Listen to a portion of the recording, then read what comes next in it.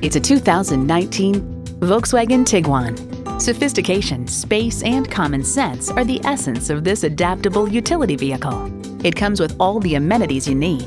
Intercooled turbo inline four-cylinder engine, front heated leather sports seats, streaming audio, auto-dimming rear view mirror, dual zone climate control, memory exterior door mirror settings, external memory control, hands-free liftgate, doors and push-button start proximity key, and integrated navigation system with voice activation.